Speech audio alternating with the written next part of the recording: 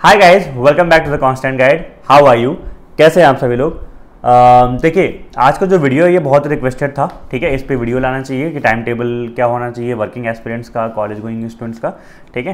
तो चलिए स्टार्ट करते हैं। मैं आपको पहले डिस्क्लेमर दे दूँ कि इसको आप चाहो तो 1.25 या 1.5 पे आप देखे, देख लेना।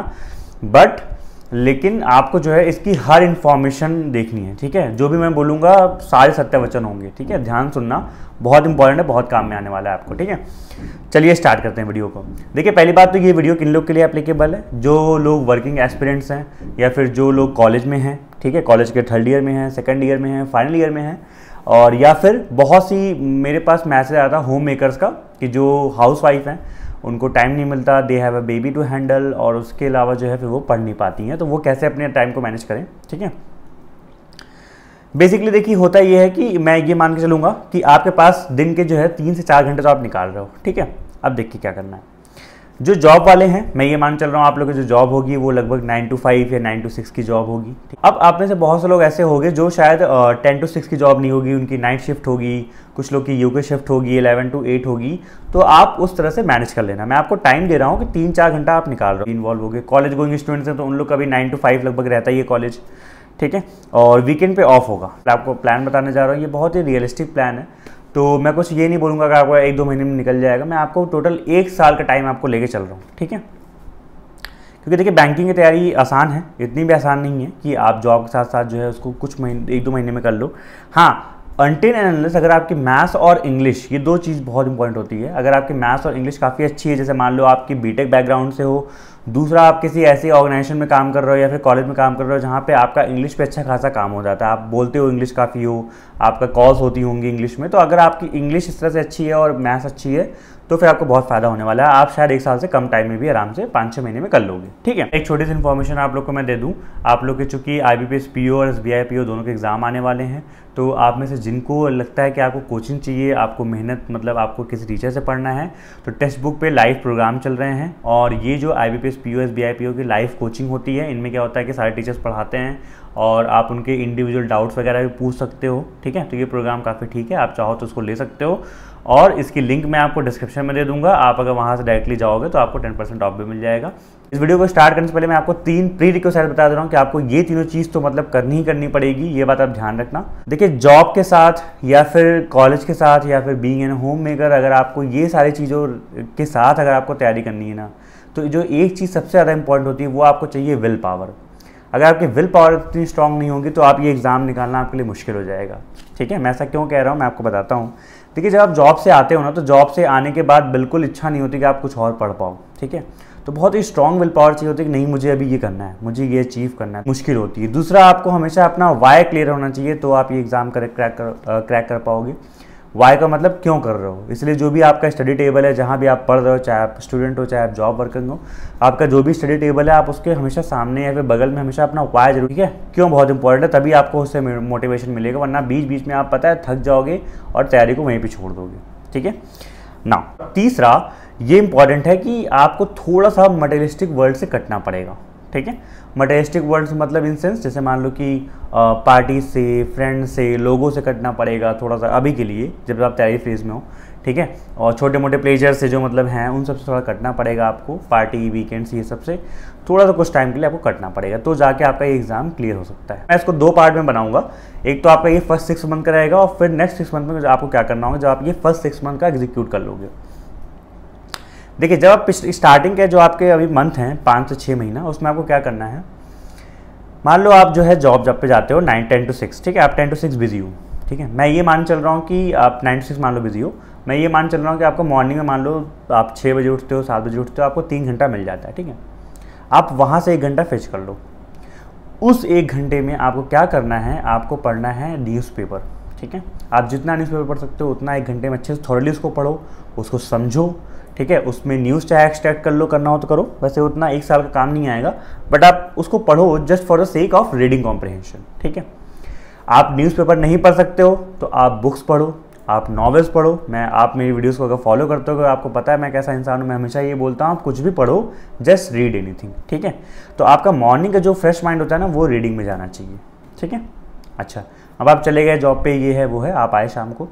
मैं ये मान चल रहा हूँ, मान लो आप सिक्स थर्टी तक आप सब कुछ करके आ के ट्रैवलिंग का आपका फ्री हो गया आप अब जब भी आप देखो जॉब से आओ या फिर जब भी आप जो है कॉलेज से कहीं से भी आओ ना काम करके, तुरंत ही कभी पढ़ाई स्टार्ट नहीं करनी चाहिए, क्योंकि वो फिर बहुत ही मोनोटोनस से आती है और दिमाग में बहुत ज़्यादा प्रेशर लग जाता है तो फिर वो पढ़ाई आपकी ख़राब हो जाती है। तो हमेशा क्या करो, आप ब्रेक लेने की कोशिश करो। आप सिक्स थर्टी के राउंड आए, आप एक से डेढ़ घंटे का ब्रेक ले लो। ठीक है? मैं आपको विंडो दे रहा हूँ, एक से डेढ़ घंटा आप कुछ भी कर लो। अच्छा ब्रेक का मतलब क्या है?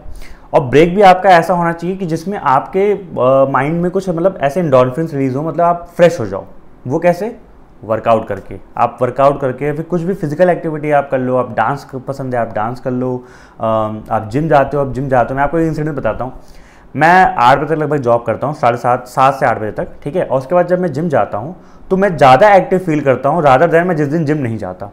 ठीक है? तो जिम जाने के बाद आप क्या होता है आप काफ़ी एक्टिव हो जाते हो, ठीक है? तो आप कुछ भी वर्कआउट कर लो, आप डांस कर लो, कुछ भी कर लो।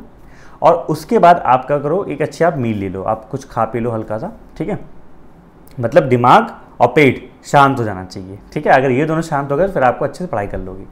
ना अब आप बैठते हो आठ बजे, चार घंटे हैं, आठ से बारह, जिसमें शायद आप हाफ़ एन आवर का ब्रेक लेके आप डिनर भी कर लेना, वरना आप तीन से साढ़े तीन घंटा भी निकालने वाले हो। इसमें आपको करने हैं दो काम। एक तो आपको करना है मैथ्स पे काम, एक तो आपको करना है रीजनिंग पे काम, ठीक है? अभी इंग्लिश ग्रामर को नहीं छूना है, ठीक है? जब आप मैथ्स पे काम कर रहे हो, ठीक है तो आपको क्या करना है, सबसे पहले क्या करना है स्टार्टिंग के प्रिपरेशन में? आपको मैथ्स में सबसे पहले करना है स्टार्टिंग के पाँच से छः जो अर्थमेटिक के चैप्टर्स हैं, सबसे पहले आप उन पे काम करो।